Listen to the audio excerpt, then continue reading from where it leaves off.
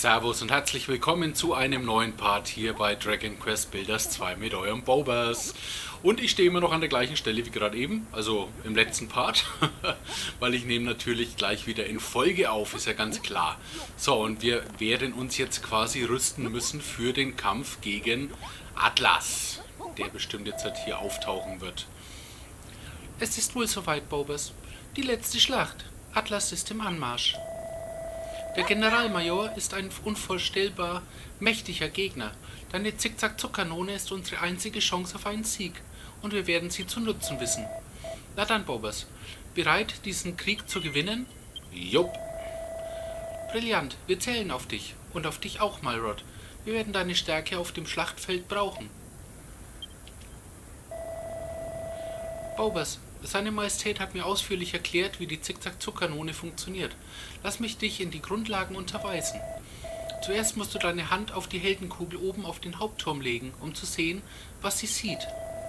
Dann musst du das Ziel nur anvisieren und den Energiestoß abfeuern. Aber Vorsicht, die Kanone kann immer nur einen Schuss abgeben. Sobald die Kugel keine Energie mehr hat, muss sie sich eine Weile aufladen. Du musst also gut zielen. Das ist auch schon alles. Soll ich dir die Grundlagen noch einmal erklären, nur um sicher zu gehen? Nö. Sehr gut, dann können wir uns jetzt Atlas stellen. Wenn wir ihn besiegen, können wir den Frieden in Mondbach wiederherstellen. Wir können dem Schicksal eines ewigen Krieges entkommen. Bobas, wenn wir bis zum bitteren Ende gemeinsam kämpfen, können wir es schaffen. Das weiß ich. Wir können gewinnen. Hm?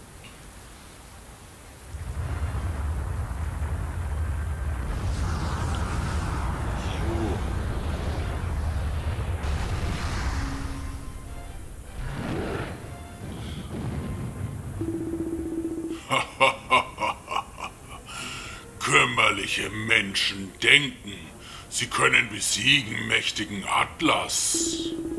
Wir hauen Schloss kurz und klein, wir hauen Türme kurz und klein, wir zeigen Lord Atlas, wie schwach ihr seid.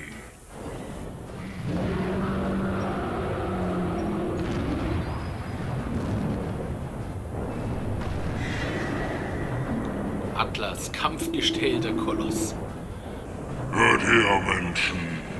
Ihr könnt nicht gewinnen. Ihr könnt eurem Schicksal nicht entrinnen. Kämpft so viel ihr wollt. es hat keinen Zweck. Ihr werdet vernichtet. Na dann, das wollen wir doch mal sehen. Hier, wie er da hinten hockt, ha? Atlas, unterschätzt uns nicht. Aber wir werden es ihm noch früh genug zeigen. Schnell, Bobers, zur Zickzack-Zuck-Kanone mit dir. Zickzack-Zuck setzt Gegner unter Druck. Richte die Zickzack-Zuck-Kanone mit L aus und drücke dann A, um ihren feurigen Zorn zu entfesseln. Wenn du nicht länger durch die Schießscharten gucken, sondern an die Front zurückkehren möchtest, drücke B. Okay. Benutzen. Wir zielen direkt natürlich auf sein Auge und schießen. Ähm. Nein, das kann nicht sein. Er ist unverletzt.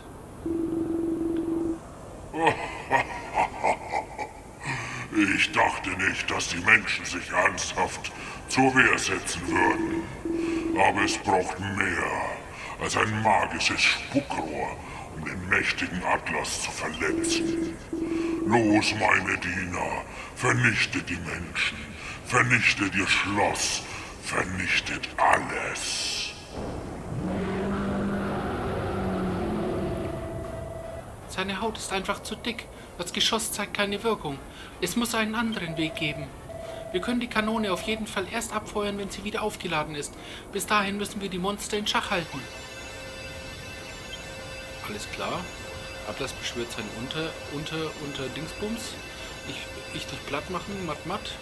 Platt, platt. So, wenn ich jetzt B drücke, dann müsste ich... Wenn ich B drücke... Okay, jetzt ist die Frage, soll ich jetzt darüber oder... Ah, ich fliege nach vorne. Weil wenn Malrod hier... Ähm, den Superstoß machen kann, wäre das natürlich super. Komm, alle auf ihn, alle auf ihn. Hier, der Dicke da.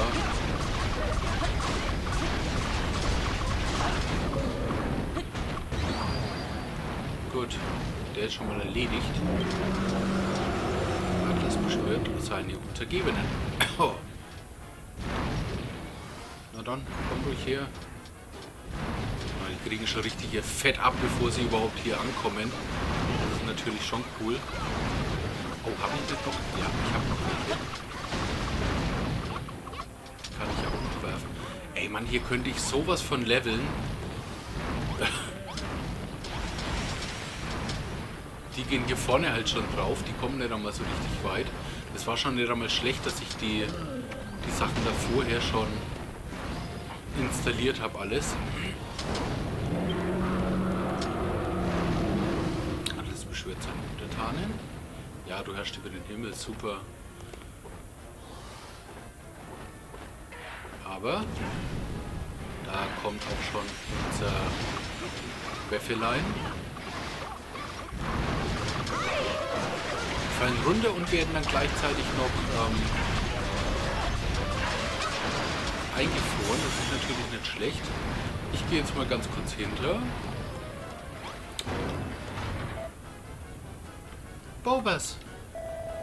Wenn du Zickzack-Zuckerkanone jetzt abfeuerst, wird sie keine Wirkung haben. Wir müssen auf den richtigen Moment warten und dann zuschlagen. Bitte kehre an die Front zurück, wir brauchen dich. Ähm, ja, okay. Oh, verdammt, ich wollte doch eigentlich nur Heilkraut herstellen. Warte mal, hier. Ich kann euch, ich kann euch pimpen.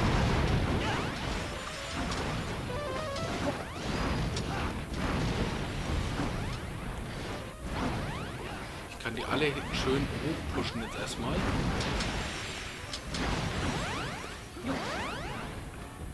Dreimal,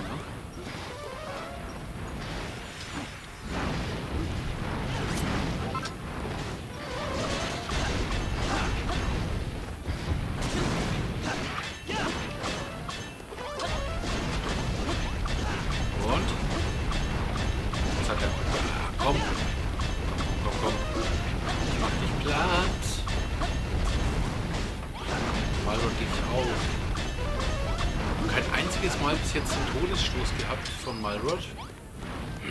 Malrod meine ich. Schon wieder? Hey, komm, der muss doch jetzt halt langsam mal fertig sein hier.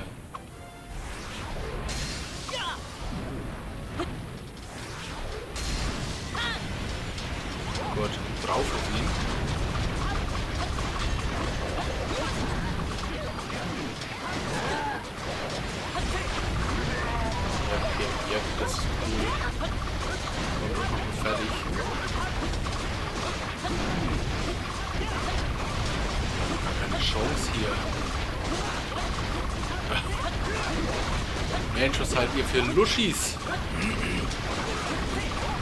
Atlas ist wahrscheinlich auch der absolute Luschi. Schaut euch die Magier an. Die, die kommen gerade mal hier vorne vielleicht durch. Bis dahin.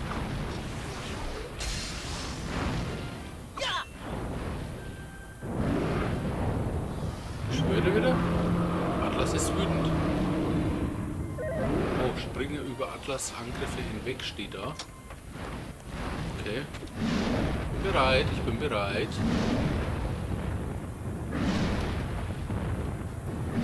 Okay.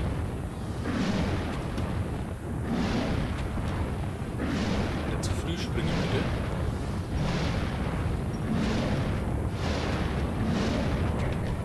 Ja, auch wenn du schneller magst, ich spring trotzdem hinweg. Sieh mal, er, er hat sich verausgabt. Das ist unsere Chance, alle Streitkräfte zum Angriff. Ja, und ich gehe zur Kanone, oder?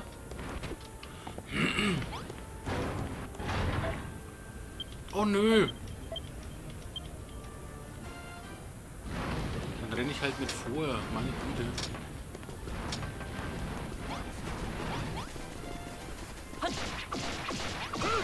Komm mal, Rod. Jetzt wäre doch mal der, der Punkt. Ah, auf jeden Fall nimmt das Ganze... Oh, jetzt wollte ich das Banner ausrüsten. Wir haben ihn ins Wanken gebracht, Bobas. Schnell, du musst die Zickzack-Zuckkanone erneut gegen ihn einsetzen. Lauf zurück zum Turm und versuche ihn zu treffen, wo ihn seine stählerne Haut nicht beschützt. Ja. Ah, gut. Benutzen natürlich ins Auge.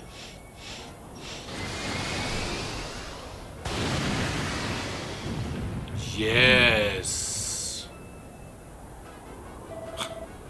Genau ins Auge. Toller Schuss, Bobas. Das hat er wohl gar nicht so gemocht. Wir müssen nur die Monster abwehren, auf eine Gelegenheit warten und noch ein oder zwei Treffer in seinem Auge landen. Dann ist der Sieg unser.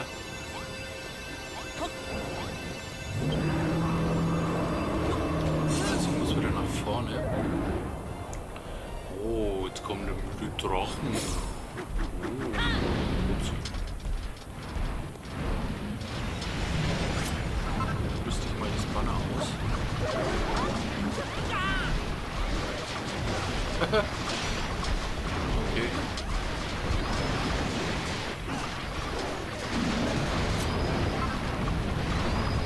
Wow, der war schnell weg.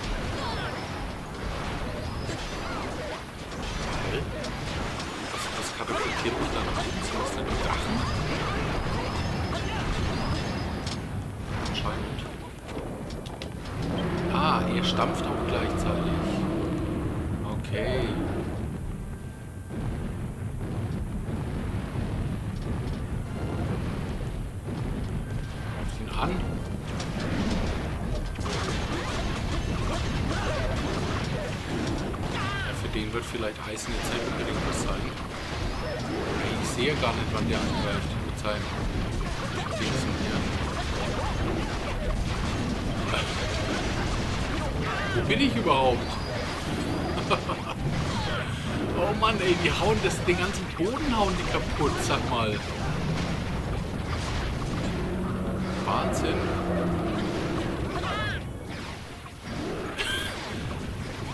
die Soldaten fliegen. Oh! Jetzt, der wird doch wohl jetzt fallen. Okay, der ist schon mal gefallen. Also die Eisenblöcke halten die jetzt nicht wirklich auf. Aber gut. Die Jungs und Mädels, die werden das dann schon wieder richten. Und die sind ja wesentlich schneller im Bauen wie ich. Ups. Ach, das sind die, die Stampfattacken von dem. Atlas bündelt seine Kräfte. Das heißt, ich werde. Ups, ups, boah. Boah. Ich sehe halt nichts.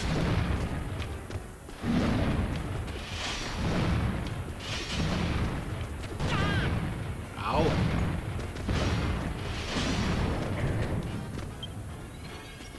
Atlas ist erschöpft. Attacke. Ey, halt alles weg, ne?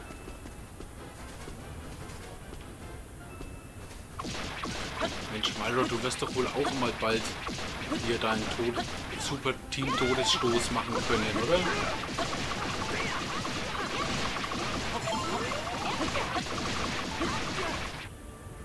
Ah, jetzt wollte ich gerade.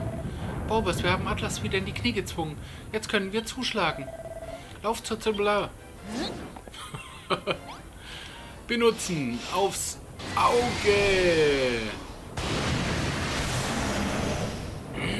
Yes.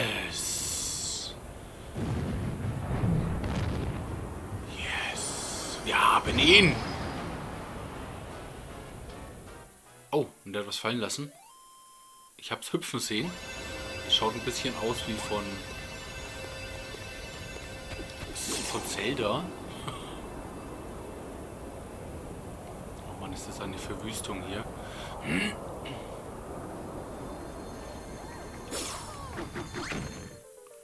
Borbes hält folgendes. Ein rostiges Relikt. Gewonnen. aber was für eine Zerstörung. Ja. Ich meine, da hinten ist jetzt eigentlich nichts kaputt, aber alles da vorne. Hurra, wir haben es geschafft. Wir haben Atlas besiegt. Und dieser Gegenstand, den er fallen gelassen hat, könnte das etwa... Bobus, mein wunderbarer Junge. Oh, Bobus, Bobus. Unser großartiger Erbauer, du hast unseren Feind besiegt und unser Königreich gerettet. Ja, das haben wir alle gemacht, oder? Himmel doch mal, ich wusste, dass du es schaffst. Um deine großen Taten auf dem Schlachtfeld zu ehren, ziehe ich es vielleicht in Betracht, dich als Knappen anzuheuern. Gepriesen seien die Götter. Der scheußliche Tyrann, der diese liebliche Insel in eisernen Griff hielt, ist nicht mehr. Die Tage des endlosen Blutvergießens sind vorbei. ich kann nicht glauben, dass es wirklich passiert ist. Wir haben es geschafft, wir haben es tatsächlich geschafft, wir haben die Kinder Hagons besiegt. Ähm, ähm, ich, ich bitte diesen Gefühlsausbruch zu entschuldigen. Solches Verhalten ziemt sich nicht für den Anführer des Militärs von Mondbach. Bevor wir die Siegesfeier wirklich beginnen lassen, sollten wir vielleicht den Schaden am Schloss beheben. Überlass das ruhig uns, Bobers. Wir sind im Handumdrehen damit fertig. Ja, das hoffe ich doch. Kling, kling, peng, peng, ding, ding, ding. Und alles gebaut. Also, ey, oh, er strahlt im alten Glanz. Das ist doch hervorragend. Bobers, ich muss mit dir reden. Du hast ein frostiges Relikt von Atlas geborgen, nicht wahr? Ich glaube, dass du das Siegel von Mondbach sein könnte. Der legendäre Schatz, der den Frieden in meinem Reich wiederherstellen wird. Du musst es nur reparieren. Geh, mein Kind, bringe das rostige Relikt zu deiner Werkbank und fertige daraus das mächtige Siegel von Mondbach. Gut, machen wir. Siegel von Mondbach, das extravagante Emblem der königlichen Familie von Mondbach.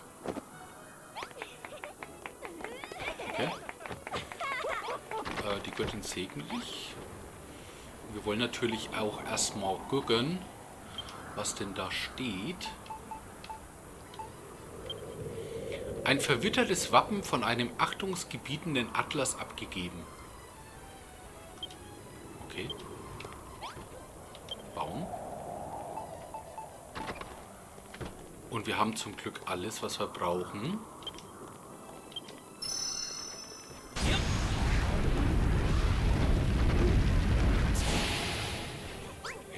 Magic. Natürlich gleich nochmal gucken. Äh, das extravagante Emblem der königlichen Familie von Mondbach. Okay.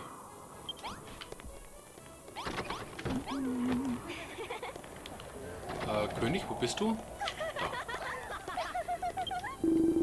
Baubers, das Siegel von Mondbach ist so gut wie neu. Ich stehe tief in deiner Schuld. Die tanzen da hinten schon. Dir und dir allein bereits anvertraute, ist diese Welt nur eine Illusion. Sie kann jeden Moment verschwinden. Doch wenn ich dein lächelndes Gesicht blicke, junger Mann, erfüllt mich das mit Hoffnung. Womöglich bist du gar kein Abgesandter der Vernichtung, sondern der Schöpfung, der uns alle vor unserem schrecklichen Schicksal retten soll und diese Welt vor ihrer Zerstörung bewahrt. Komm, Bobers, nimm das Siegel von Mondbach und befestige es am Leuchtfeuer Erdrix. Lass die Menschen wissen, dass wieder Friede eingekehrt ist. Äh, platziere das Siegel auf Eldrix Dingsbums. Okay, warte mal, da muss ich aber erstmal das hier wegtun. Benutzen. Yes.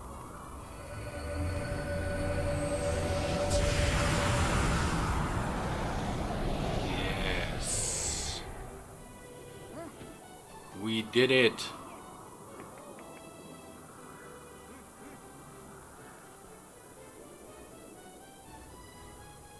Und das ganze Land sieht natürlich die Flammen, das Freudenfeuer des Friedens, der in Mohnbach wieder eingekehrt ist. Königlichen Gebote Mission erledigt, Atlas besiegt, abgeschlossen. Hervorragend. Heißt es, dass wir dann schon wieder nach Hause können? Oh Mann. Mohnbach war jetzt aber eigentlich relativ schnell rum, also rein gefühlsmäßig jetzt. Ich, ich kann es kaum glauben. So fühlt es sich also an, wenn kein Krieg mehr in der Welt tobt. Eine friedliche Welt. Ich kann dir gar nicht genug danken, Bobers. Ohne dich wäre dieser Tag niemals gekommen. Der Bauer gewann unsere Herzen für sich und machte Dean mit Atlas Schluss. Da er nicht von unserer Seite wich, bekommt er sie dafür einen Kuss. Ehrlich, Krachim, musst du denn wirklich alles besingen? Die Menschen von Mondbach genießen eine Weile lang den Frieden, den Bobas ihnen gebracht hat, und die ungewohnte Wärme, die sich in ihren Herzen ausbreitet. Sie beschließen, diese glückliche Fügung des Schicksals zu feiern und das größte Festmahl in der Geschichte des Reiches abzuhalten. Ist bloß fast nichts zum Essen da, ne, würde ich mal sagen. Die Vorbereitungen für unser Siegesfestmahl sind abgeschlossen. Jetzt wollen wir die Feierlichkeiten beginnen. Mit einem Feuerwerk. Sieh dies als bescheidenes Geschenk für dein, deines Königs an. Abgesehen von den Feuerwerkkanonen, das gebe ich zu, die stammen alle aus deiner fachkundigen Herstellung, Bobers. Oh, und bevor ich es vergesse, ich habe Mylrod auf der äußersten Mauer gesehen. Er sah ein wenig einsam aus. Er braucht einen Freund, der mit ihm redet, Bowers. Und du bist sein bester Freund. So, ist er? Der ist da vorne. Ah, da vorne ist er. Dann wollen wir doch mal hin zu ihm.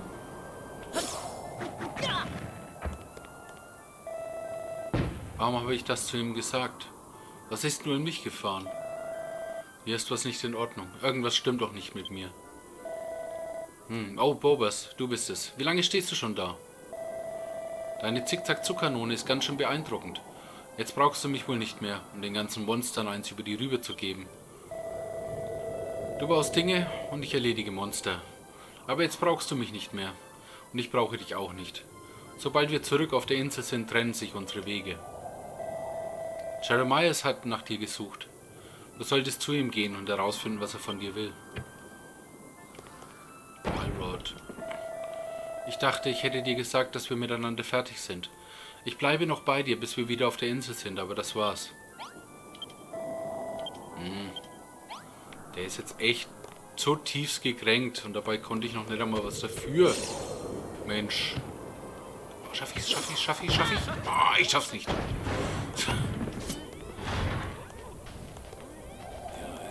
Da hoch? Ist eine Leiter irgendwo? Da ist eine Leiter, gut.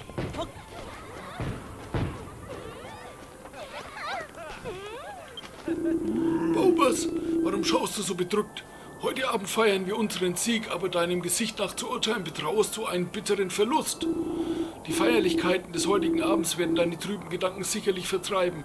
Es wird Zeit, deine wundervollen Feuerwerkskanonen in Aktion zu sehen. Was? Was soll das heißen? Du erinnerst dich nicht daran, wann oder warum du sie gebaut hast. Komm schon, mein Junge. Du hast sie auf meine Bitte hin hergestellt, damit wir unseren gewissen Sieg über, den Monst über die Monster feiern können. Hier, nimm diese wundervollen Feuerwerkskörper. Lade sie in die Feuerwerkskanonen und lass dann das Spektakel beginnen. Ui. Okay. Ich glaube, dass Anissa etwas mit dir besprechen wollte. Geh doch bitte zu ihr und höre sie an, wenn du dich am Feuerwerk satt gesehen hast. Heute gab es eine neue Anleitung. Feuerwerkskörper, Verbrauchsgut, extravagante Explosionskörper, die angezündet und abgeschossen werden können, um den Nachthimmel zu erhellen. Mit Feuerwerkskanonen verwenden kann gefärbt werden. Cool.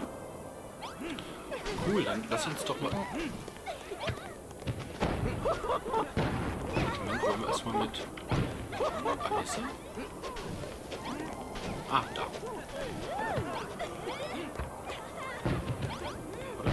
Ah, kann ich kann laden und abschießen.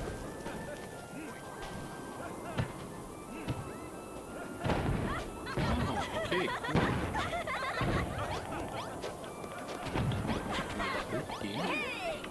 Das hier mal ein bisschen aus der Entfernung betrachten. Oh. Ah. Mm. Okay, das reicht. Ah, Bobas, genießt du das Feuerwerk? Dr. Jeremias meinte, dass er das Beste bis zum Schluss aufhebt. Also können wir uns noch auf so einiges freuen. Was meinst du, Bobas? Willst du dich zurücklehnen und das große Finale genießen? Äh, ja. Exzellent, ich werde Dr. Jeremias informieren, damit er mit der Hauptattraktion beginnen kann.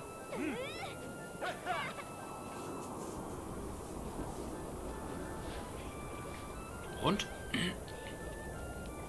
Malrod steht immer noch ganz da Bobers, auch wenn wir genug Grund zum Feiern haben, kann ich nicht aufhören, über dich und Malrod nachzudenken. Ich bin sicher, dass er diese verletzenden Worte nicht ernst gemeint hat. Wir alle sagen in der Hitze des Gefechts Dinge, die wir nicht so meinen. Ich bin sicher, dass sich alles wieder einrenkt, aber Malrod ist ein Dickkopf. Du musst den ersten Schritt machen und lass dir nicht zu viel Zeit. Hm. Ah, die Show scheint gleich loszugehen. Lass uns jetzt unsere Sorgen vergessen und das Feuerwerk genießen.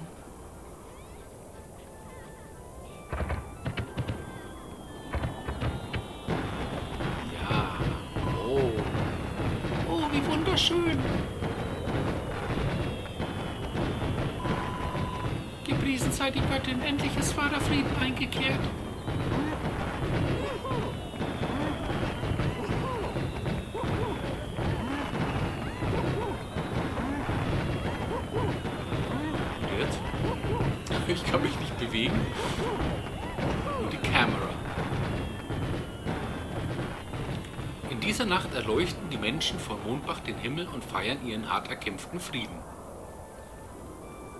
Während sie das bunte Spektakel am Nachthimmel bewundern, drehen sich ihre Gedanken um die vielversprechende Zukunft, die vor ihnen liegt.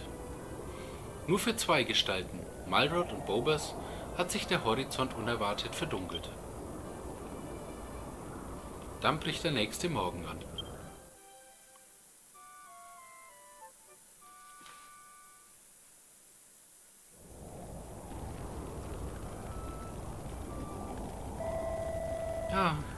War das Fest letzte Nacht nicht außergewöhnlich? Mein Herz pocht noch immer vor Freude. Bei der ganzen Aufregung habe ich fast vergessen, dass ich dich etwas fragen wollte, Bobas. Was meinte Hector, als er sagte, dass unsere Welt eine Illusion sei? Du hast damals in Renderak mit ihm darüber gesprochen. Seitdem beschäftigt mich dieser Gedanke. Bitte entschuldige, jetzt ist nicht der richtige Zeitpunkt für solche Gespräche. Lass uns noch ein Weilchen länger in unserem Siegestaumel schwelgen. Warum? Bevor du kamst, hatte ich fast alles verloren. Aber als ich mir letzte Nacht an deiner Seite das Feuerwerk ansah, war ich durch und durch glücklich. Dank deiner harten Arbeit konnten wir Mondbach wieder Frieden schenken. Danke, Bobes. Ups. Die wollte ich nicht ausrüsten. Ah, Bobas, es gibt noch etwas, das ich mit dir besprechen muss. Du kamst auf der Suche nach neuen Gefährten, die dir auf deine Insel folgen, in dieses Land, nicht wahr? Freunde, die dir helfen, die Kinder Hagons zurückzutreiben. Nun, es gibt nicht einen unter uns, den du nicht mit deinen Erbauerkünsten inspiriert hast. Ich bin sicher, dass dir viele von uns im Gegenzug helfen würden. Und wenn dir die mutigen Mondbach-Soldaten den Rücken frei halten, steht dir kein Feind mehr im Weg. Jetzt, da wieder Frieden eingekehrt ist, benötigst du das Schloss, die vielen Knisterfallen und Ballisten nicht mehr, die du netterweise zu unserem Schutz hergestellt hattest. Nimm sie doch bitte mit, mögen sie dir auf deiner Insel so gute Dienste leisten wie hier. Die Menschen von Mondbach warten darauf, ihren Helden zu sehen, Bobers. Geh zu ihnen und nimm ihren Beifall an. Du hast ihn dir redlich verdient.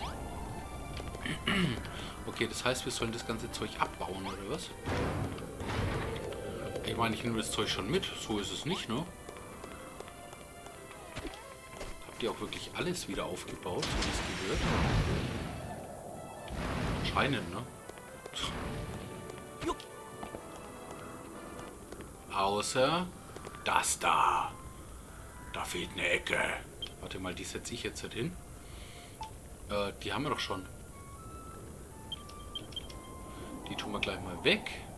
So, dann können wir hier einmal sortieren und dann würde ich sagen, nehme ich mir mal ganz kurz die Dinger hier raus und die Dinger hier raus. So. War das nur eins? Ich glaube schon, ne? Ja, da kommen noch zwei so Würfel rein. Zack, drack. Gut. Dann wäre das wirklich wieder repariert.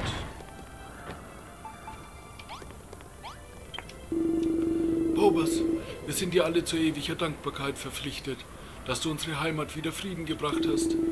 Als Herrscher über dieses wundervolle Reich bereue ich zutiefst, dass ich deine Arbeit nicht angemessen belohnen kann. Doch ich kann dir getreue Anhänger bieten, die dir helfen werden. Wie bitte? Du möchtest, dass ich dich auf deine Reise begleite? Ich, der vom Himmel ernannte Beschützer dieser Insel? du hast ja nie viel aus dem Zeremoniell gemacht, nicht wahr, mein Lieber? Aber leider kann ich dir diesen Wunsch nicht erfüllen. Dieses Königreich ist auch weiterhin meine Verantwortung und ich werde es nicht so einfach im Stich lassen. Bobas, weißt du noch, was ich dir gesagt habe über diese Welt und ihr Wesen? Das Ende mag nahe sein und wenn dies mein Schicksal ist, so soll es geschehen. Ich werde bis zum Schluss über mein Volk wachen. Aber ich werde euch weiterhin ein Auge auf dich haben, Bobas. Ich bin schon gespannt, was für aufregende und unglaubliche Erfindungen du für die Menschen dieser Welt konstruierst. Ja gut, ich habe jetzt auch nicht erwartet, dass der mitgeht. Himmel nochmal, Bobers. Das war wirklich gute Arbeit, wie du Kinder Hargons gestürzt hast. Und nicht nur das, du hast vor, uns vor dem Schicksal eines endlosen Kriegs bewahrt. Als wir uns das erste Mal begegneten, war ich ein alter Narr, der nichts als Krieg kannte, und hatte Angst, du würdest mir das einzig nehmen, was von dem ich wirklich etwas verstand. Aber ich hätte mich darauf freuen sollen. Ich hätte mir nie träumen lassen, dass es so schön sein könnte, jeden Morgen in einer friedlichen Welt aufzuwachen. Da sieht man es wieder. Es gibt immer etwas zu lernen, ganz gleich, wie alt man ist. In diesem Fall ist das Ei klüger als die Henne und ich habe nicht die Absicht, es dabei bewenden zu lassen. Und damit komme ich zum Punkt. Ich will mit dir gehen. Es ist noch nicht zu spät für mich, die Welt zu erkunden. Nun, was sagst du, mein Freund? Jo, du kannst gern mit. ich wusste doch, dass du zustimmen würdest. Schließlich bin ich der erfahrenste Soldat, den du jemals treffen wirst. Setzen wir die Segel in Richtung deiner Heimat. Ich muss noch viel über die Kunst des Bauens lernen, aber ich kann es kaum erwarten anzufangen. Okay. Sarah, kommst du mit? Hallo Bobas, gestatte mir, dir erneut meinen Dank für deine Hilfe beim Sieg über die Streitkräfte Hagons auszusprechen. Du hast wirklich eine gute Figur abgegeben, als du da oben vom Turm aus Atlas mit der Zickzack-Zuckerkanone ins Auge geschossen hast. Übrigens, Bobas, mir ist zu Ohren gekommen, dass du bald auf deine eigene Insel zurückkehren wirst. Ähm, ich würde nur allzu gerne mit dir gehen. Dann könnte ich deine gute Figur so oft sehen, wie ich möchte. Aha. Bedauerlicherweise gehöre ich den königlichen Leibwache seiner Majestät an. Ich kann unmöglich meinen Posten verlassen und den König ungeschützt zurücklassen. Du solltest dorthin gehen, wo man dich deiner Meinung nach braucht, liebe Zara. Wenn es dein Wunsch ist, den jungen Bobus zu seiner Insel zu begleiten, lasse ich dich mit Freuden ziehen. Weißt du, du bist nicht nur meine Leibwache, und außerdem, wozu ist eine bewaffnete Eskorte gut, wenn in meinem Land Frieden herrscht? Wirklich, Eure Majestät, ich. Oh, ich danke euch. Ich danke euch vielmals. Wenn das so ist, würde ich nur allzu gerne mit dir gehen, Bobas, und dir helfen, wo ich kann. Würdest du mich mitnehmen? Na, Logo. Hurra, du wirst diese Entscheidung nicht bereuen, Bobas. Gemeinsam werden wir den miesen Kindern Hagons zeigen, mit wem sie sich angelegt haben. Yep. Wir sind ja hier auf dem Eiland eh noch lange nicht fertig, ne? Das ist klar. So, wer hat sich jetzt da unten verschanzt? Ah, Jeremias. Ah, Bobas, wie hat dir das Feuerwerk gefallen? Wir Menschen sind mit den Fehlern behaftet Geschöpfe und wir haben die Angewohnheit, viele Konflikte und Leiden heraufzubeschwören. Aber manchmal erschaffen wir auch schöne Dinge. Was hältst du von dem Satz? Ich wollte damit weise und philosophisch wirken. Habe ich mein Ziel erreicht? Wie dem auch sei, ich höre, dass du vielleicht bald fortgehst. Ich bin mir ziemlich sicher, dass Esther sich dir gern anschließen möchte. Bitte, Bobas, kümmere dich gut um meine geliebte Enkelin. Ach, aber was rede ich da? Ich lebe doch nur für das Mädchen. Ich kann sie nicht ohne mich ziehen lassen. Genau wie ich dich nicht alleine gehen lassen würde. Wenn Esther geht, gehe ich auch. Was sagst du dazu, Bobas? Wirst du mich mit auf deine Insel nehmen? Ja klar, komm mit. Oh, vielen Dank. Ich kann es kaum erwarten zu sehen, welche Wunder du auf deine Insel erbaut hast. So, dann haben wir das. So. Es fehlen noch zwei, so wie es ausschaut. Boah, bitte nicht. Bobas so edel und mutig, er rettet uns aus tiefster Not. Heldenhaft und ganz unblutig bewahrt er Mondbach vor dem Tod. Jetzt, da wir endlich Frieden haben, werde ich hier in Mondbach bis an mein Lebensende Loblieder auf dich singen. Ja, ich mache natürlich Witze. Ich möchte alle auf deiner Heimatinsel mit meiner wunderschönen Stimme und meinen Ohrwürmern erfreuen. Herr Bauer, nimm mich mit. Frohe Lieder singe ich dir. Dein Volk verdient meinen Auftritt. Und trällern wird es mit mir. Nein. Äh, nun sei nicht so gemein, sonst ziehe ich einen Flunsch. Ich hänge mich richtig rein, bitte erfülle meinen Wunsch. Herr Bauer, nimm mich mit. Frohe Lieder singe ich dir. Nein. Och Mann. Ich will, dass du da bleibst. Ich wusste, du würdest zustimmen, nachdem ich dich so genervt habe. Es wäre geradezu ein Verbrechen, deine Leute der Chance zu berauben, mich so ekelhaft singen zu hören, wie ich's tue. Vielleicht gründe ich einen Chor mit all den bewundernden Fans, die sich mit Sicherheit äh, um mich sammeln werden, sobald ich den Mund öffne. Äh, nein. Esther, du kommst mit. Baubers, mein Schäfchen, du hast Mondbach vor seinem unseligen Schicksal bewahrt und wieder Frieden ins Land gebracht. Dafür werde ich dir ewig dankbar sein. Du hast so viel getan, um Mondbach wieder aufzubauen, doch es gibt doch immer viel zu tun. Wirst du hier bleiben und uns als Erbauer Hilfe leisten? Äh, wie bitte? Du sagst, du willst bald auf deine Heimatinsel zurückkehren? Oh, mein Schäfchen, ich... ich... Seit ich das erste Mal sah, wie du mit Maldrod eingeschlagen hast, entwickelte ich einen gewissen Ehrgeiz. Ich nährte mich... Ich nährte die Hoffnung, eines Tages selbst so etwas mit dir zu erleben. Bitte, Bobers, bitte. Wirst du mich mitnehmen? Ich will bei dir bleiben. Äh, jo, komm mit. Oh, gepriesen sei die Göttin, ich danke dir. Baubes, ich war noch nie in meinem Leben so glücklich. Ich schwöre, ich werde keine Belastung für Malrod und, oder andere deiner Inselbewohner sein. Behandle mich einfach wie jedes andere Teammitglied. Okay. Das heißt, laufen die mir jetzt schon alle hinterher? Ach, verdammt nochmal. Ich wollte doch noch die Rätsel machen. Und vor allem auch die Insel noch ähm, komplett freischalten. Ah, Bobas, ich gehe davon aus, dass du mit allen gesprochen hast. Sehr schön. Seit meiner Kindheit fasziniert mich die Kunst des Bauens. Ich träume davon, selbst einmal Erbauerin zu werden. Und jetzt, da ich auf den Geschmack gekommen bin, mit meinen eigenen Händen zu bauen, gibt es kein Halten mehr. Das Bauvirus hat mich gründlich infiziert. Nimm mich mit, Bobas. Lass uns weiterhin zusammenarbeiten. Nicht um einen Krieg zu gewinnen, sondern um eine neue Welt aufzubauen. Jo, du kommst mit. Gut, ich wusste, du würdest ja sagen. Du bist mehr als nur Inspiration für mich, Bobas. Du bist mein Freund. Und jetzt lass uns zu deiner Insel zurückkehren und gegen die Kinder Hagons kämpfen. Oh, und vergiss nicht, all die von dir gebauten Fallen einzusammeln, bevor wir aufbrechen. Lass uns alles mitnehmen. Die Blitzfallen, die Knisterfallen, die Sausomaten, die Knirschkonstruktionen, die Ballisten, die Stachelfallen, einfach alles. Wenn du deine Angelegenheiten hier in Mondbach erledigt hast, machen wir uns alle zusammen auf den Weg zum Dock. Wir werden alle unsere Kraft darauf verwenden, aus deiner Insel ein Leuchtfeuer der Hoffnung für diese Welt zu machen. Okay. Lauft die mir jetzt alle... Oh, die laufen mir jetzt alle hinterher. Uff. Mann. Okay, mal kurz auf die Karte gucken. Das ist tatsächlich das Ding hier, der nächste Punkt. So, wir haben hier auf jeden Fall noch einiges an Rätseln. Ich habe hier auch noch einiges an Inseln aufzudecken. Von daher denke ich, werde ich beim nächsten Mal, wir werden zurückfahren. Auf jeden Fall. Wir werden unsere, äh, keine Ahnung, wenn wir Mini-Medaillen bekommen, werden wir die einsacken. Und dann werden wir aber auch wieder hier zurückkommen nach Mondbach. Dann werde ich nämlich die... Karte aufdecken und ich werde die Rätsel zusammen mit euch machen. So, das ist so mein Ziel für den nächsten Part. Okay, insofern würde ich sagen, ähm, ja, für heute ist mal Schluss, ne? Und, ähm, Moment, ich möchte mich noch schön positionieren. so, hervorragend. So, ähm, ich möchte mich bedanken fürs Zuschauen, äh, für ein Like, für Kommentare, wie auch immer.